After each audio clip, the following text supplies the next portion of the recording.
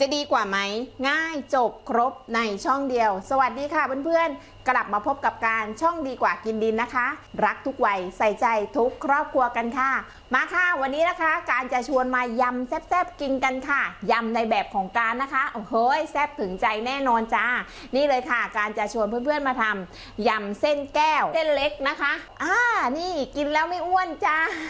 ก็หน้าตานะคะจะเป็นแบบนี้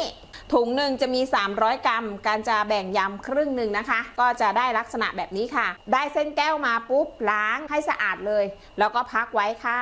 ค่ะ เครื่องที่การจะยำค่ะ นี่เลยค่ะ การจะใส่ปลาหมึกสด กุ้งสด หมูยอ ไส้กรอกนะคะ จัดไปเลยค่ะ อยากกินอะไรก็ใส่ลงไปค่ะ เสร็จแล้วยังไม่หมดค่ะ หมูสับค่ะ ใส่หมูสับไปด้วยอร่อยค่ะ ผักนะคะที่จะใส่ขึ้นช่ายค่ะมะเขือเทศแล้วก็ต้นหอมนะคะ ก่อนอื่นการจะเอาของสดทั้งหมดเนี่ยไปลวกก่อน แล้วก็เดี๋ยวเรากลับมาทำยำกันค่ะ นี่เลยค่ะ การก็ลวกทุกอย่างสุกเสร็จสับเป็นที่เรียบร้อยแล้วค่ะ นี่หมูสับนะคะ การไม่ได้ลวกนะการจะใช้วิธีการรวนอ่าแต่การไม่ได้ถ่ายตอนลวกให้ดูเนาะเออตอนตอนที่ไปทำให้สุกให้ดูนะคะรวนแค่พอสุกนะคะอย่าให้มันแห้งเกินถ้าแห้งเกินแล้วหมูสับมันจะแข็งนี่เลยค่ะ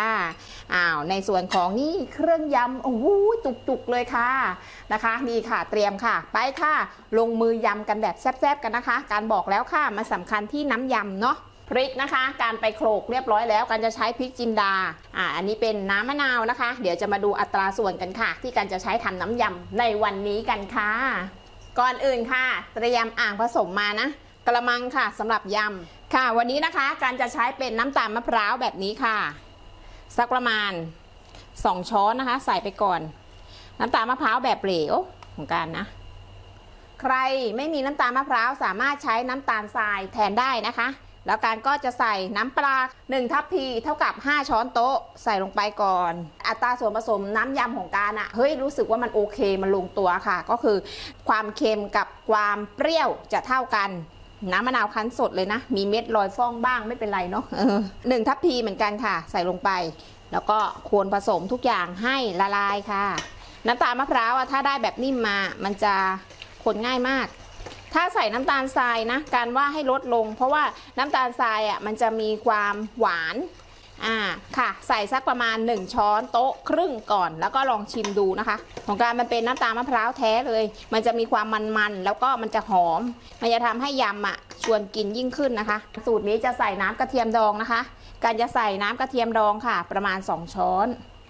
การจะเพิ่มซอสพริกค่ะ ลงไป 1 ช้อนค่ะ แบบไม่พูนเนาะมันจะทำให้น้ำยำอะออกมาสีสวยชวนกินค่ะ นี่เลยค่ะ ของการจะมีความเค็ม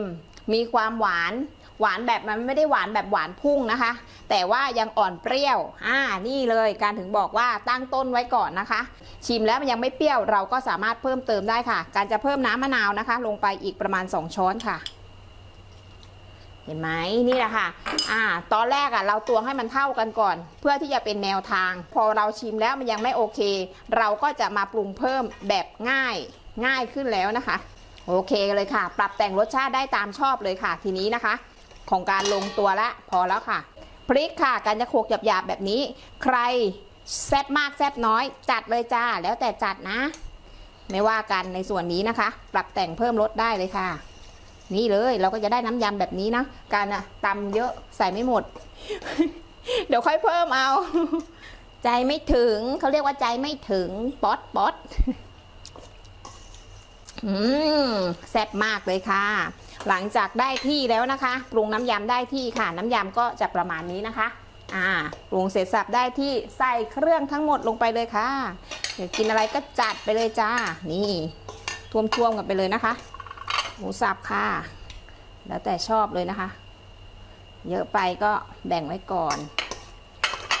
เนี่ยค่ะ แป๊บเดียวเองค่ะ เดี๋ยวก็จะได้กินแล้วเนาะคลุกๆเขาๆ การเพิ่มเติมก็คือมีหอมใหญ่มาด้วยนะคะ แล้วก็มะเขือเทศค่ะ ใส่หือหอมมาก หลังจากนั้นเราก็เอาเส้นแก้วอะค่ะ ใส่ลงไป ใครจะยำวุ้นทรงวุ้นเส้นนะคะใช้ได้เลยค่ะ สูตรนี้นะคะอ้าวการตวงมาพอดิบพอดีหมดละการก็จะใส่หมดเลยค่ะกระมังนี้กินได้ประมาณ 3-4 คนเนาะกับแก้มค่ะ กับแก้มคลุกเคล้าค่ะ นี่อย่างที่การบอกอะค่ะ ถ้ายังไม่แซบเพิ่มแซบได้การใส่หมดเลยแล้วกัน ค่ะคลุกเคล้าค่ะ การเพิ่มเติมน้ำมะนาวไปอีกหนึ่งช้อน แล้วก็น้ำปลาไปอีกหนึ่งช้อนนะคะ ตอนนี้ค่ะ รสชาติแบบว่าพุ่งเลยค่ะ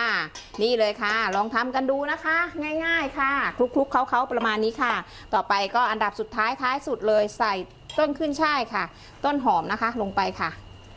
คลุกเคล้าอีกทีค่ะโอ้ยเครื่องแน่นมากบอกเลยค่ะ เท่านี้เองค่ะ เสร็จสับเรียบร้อย พร้อมเสิร์ฟค่ะ ไปจัดจานเสิร์ฟพร้อมกันค่ะ พร้อมเสิร์ฟจ้ายำเส้นแก้วนะคะ เครื่องแน่นๆ จัดเองจุกๆ น้ำยำหมแซ่บมากเลยค่ะ นี่เลยนะคะ ใครทำน้ำยำไม่อร่อยไม่แซ่บลงตัวนะคะ ลองเริ่มต้นแบบการนะ ลองทำแบบการค่ะ แล้วก็ค่อยๆ ชิม ค่อย ๆ ต่อยอดไปเรื่อย ๆนะคะ รับรองค่ะแซ่บถึงใจแซ่บถูกใจแน่นอนจ้า ง่ายๆนะคะ ฝากเพื่อนๆกันไว้ด้วยค่ะ หากชอบคลิปนี้ฝากกดไลค์กดแชร์กด Subscribe เป็นกำลังใจให้การทำคลิปต่อๆไปด้วยนะคะนะคะ คลิปนี้ สวัสดีค่ะ